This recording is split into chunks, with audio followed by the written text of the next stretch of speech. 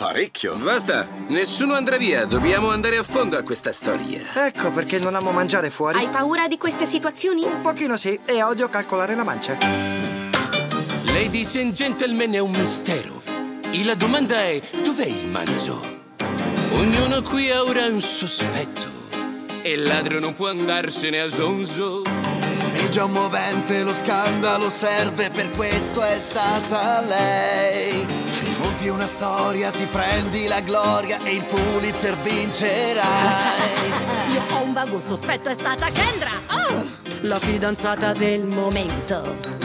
Perché quel frullato di carne avrebbe generato un alito orrendo. Questo è un vero giallo, un vero giallo, io ti ho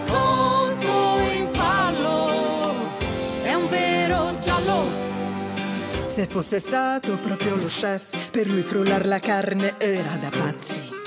È ovvio, gente, è stato Ambrose. Lui frullerebbe la sorella Bizzi.